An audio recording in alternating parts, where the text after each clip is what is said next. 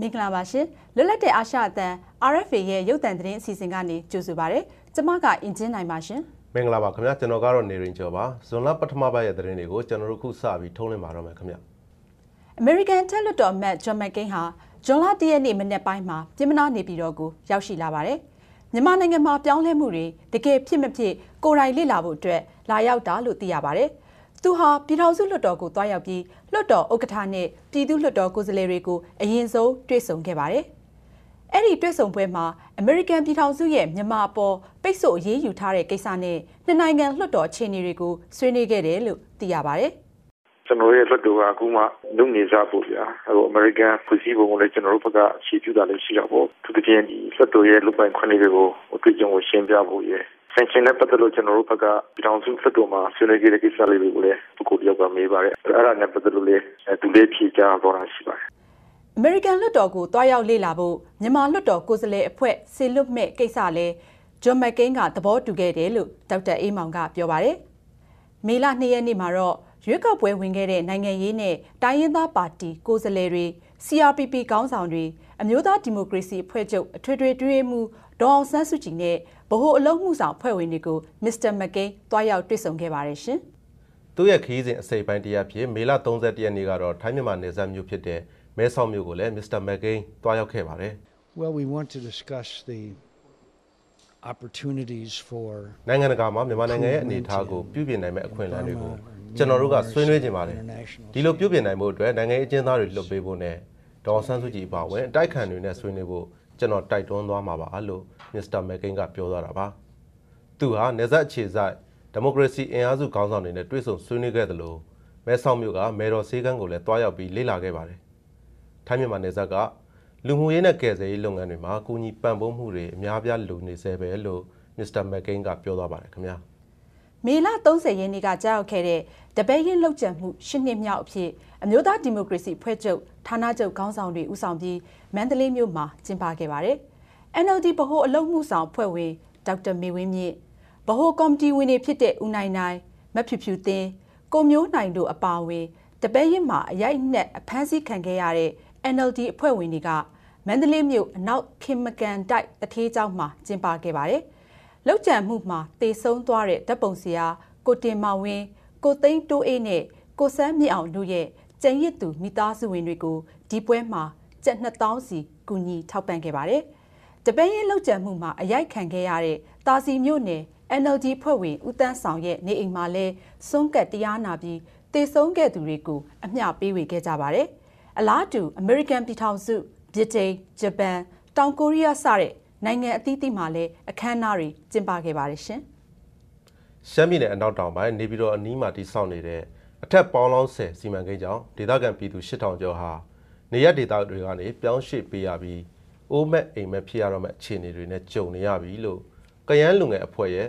ပြောင်းစေအမိန်ဖြစ်နှင်ထုတ်ခံရခြင်းဆိုတဲ့အစီရင်ခံစာမှာဖော်ပြထားပါတယ်။နေပြည်တော်ကိုလျှက်စစ်တာပေးဖို့အတွက်ဆိုပြီး2004ခုနှစ်ကတည်းကစပြီးတိစောက်နေတာပါဒီဆယ်ကို ဥရောပနဲ့တရုတ်နိုင်ငံတွေကယင်းနှိမ့်မြုံနှံသူတွေရဲ့အကူအညီနဲ့တိစောက်နေတာဖြစ်ပါတယ်ဒီစီမံကိန်းမှာဆွစ်ဇာလန်နိုင်ငံက AF Colinco ကုမ္ပဏီကတိစောက်ရေးလုပ်ငန်းတွေကြီးကြပ်နေပါတယ်ဒါအပြင်လန်ဒန်အခြေစိုက် Melquan နဲ့ MDA အဖွဲ့တရုတ်နိုင်ငံယူနယ်ပြည်နယ်က YMEC ကုမ္ပဏီတွေကပါဝင်ဆောင်ရွက်နေတာဖြစ်တယ်လို့အစီရင်ခံစာမှာဖော်ပြထားပါတယ်ခင်ဗျာ1990ပြည့်နှစ်ရွေးကောက်ပွဲဟာတမိုင်းမှာဘယ်တော့မှဖျောက်ဖျက်လို့မရတဲ့မှတ်တိုင်တစ်ခုလို့ NLD ရုံးချုပ်မှာ မေလ29ရက်ကကျင်းပတဲ့22နှစ်မြောက်ရွေးကောက်ပွဲအောင်ပွဲနေ့အခမ်းအနားမှာဒေါအောင်ဆန်းစုကြည်ကပြောဆိုလိုက်ပါတယ်။အခမ်းအနားမှာမကြသေးမီကအကျဉ်းတော်အသီးသီးကလွတ်လာတဲ့နိုင်ငံရေးအကျဉ်းသားဟောင်းတွေကိုကြိုဆိုနှုတ်ဆက်ခဲ့ပါတယ်။အခုလွတ်လာတဲ့အချိန်မှာဆိုလို့ရှိရင်အသက်က80ရာနေပြီးတော့20ပတ်ဝန်းကျင်လောက်ဖြစ်နေဆိုတော့ကျမတို့မျိုးဆက်တွေကတစ်ဆက်ပြီးတစ်ဆက် ကိုယ့်ရဲ့ယုံကြည်ချက်အတွက်ဒီတိုင်းဒီမှာပတ်တိရှိရှိနဲ့အကျဉ်းချခံရရဲဆိုတော့ပြနေတာတရားဥပဒေစိုးမိုးရေးကျမတို့ဘယ်လောက်အထိရနေပြီလဲဒီတရားဥပဒေစိုးမိုးရေးနဲ့ပတ်သက်နေတာတော့ကျမတို့ခံယူချက်ကြောင့်အကျဉ်းချနေတဲ့လူတွေဒီပုံကိုယ်တွေကိုတရားဥပဒေနဲ့အညီအကျဉ်းချခဲ့တာလားတရားဥပဒေနဲ့အညီစစ်ဆေးခဲ့ကြတာလားတရားဥပဒေနဲ့အညီဖန်ဆီးခဲ့တာလားအဲ့တော့ အဲ့ဒီဟာတွေမရှိခဲ့ဘူးဆိုလို့ရှိရင်ဒီတိုင်းပြည်မှာတရားဥပဒေစိုးမိုးရေးမရှိဘူးဆိုတာအင်မတန်ရှင်းပါတယ်ဒါလူရင်းချမ်းသာခွင့်မဟုတ်ဘူးခါရဲလုံးကြကြလိုရိုးလို့နေမယ်လာတိကျရှော့ဖို့ပေးတာပဲအဲတခုလေးဆက်လိုက်တယ်အမတမဲဟိုဘာလဲတဘောရကြီးတဲ့ဟာမျိုးလူလူလူလူလူဘာဘာဘာဆက်လိုက်တယ်ဒါအပြင်ရွေးကောက်ပွဲဆိုင်ရာစာရန်တွေကိုလည်းဖတ်ကြားခဲ့ပါတယ်ရှင် ဗိုလ်ချုပ်စောလာဘွယ်ရဲ့ DKB တိုးတက်သောကရင်ဗုဒ္ဓဘာသာအဖွဲ့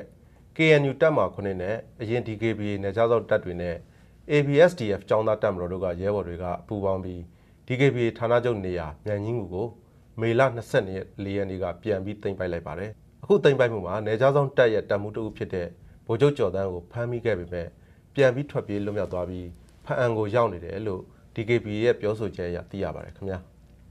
မြန်မာဒီမိုကရေစီခေါင်းဆောင်ဒေါ်ဆန်းစုကြည်ဟာမေလ30ရက်နေ့ကဟောင်ကောင်တက္ကသိုလ်ကျောင်းသူကျောင်းသားတွေနဲ့အင်တာနက်ဗီဒီယိုကနေတဆင့်ဆက်သွယ်ဆွေးနွေးခဲ့ပါတယ်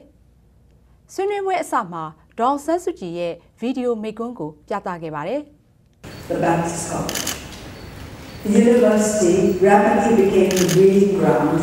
။လူတွေကိုလူကောင်းနဲ့လူဆိုးဒါမှမဟုတ်ပညာရှိနဲ့ပညာမဲလို့ခွဲခြားတာထက် လေ့လာသူနဲ့မလေ့လာသူဆိုပြီးခွဲခြားတာကပိုပြီးအတိတ်ပဲရှိတယ်လို့ပြောဆိုပါတယ်။တက်ရောက်လာသူတွေကလည်းနိုင်ငံရေးစီးပွားရေးလူမှုရေးဘာသာရေးတွေပေါ်ဒေါ်ဆန်းစုကြည်ရဲ့အမြင်တွေကိုမြင်မြန်းကြပါတယ်ရှင်။ Um, Dozu, what is the biggest challenge to you apart from education?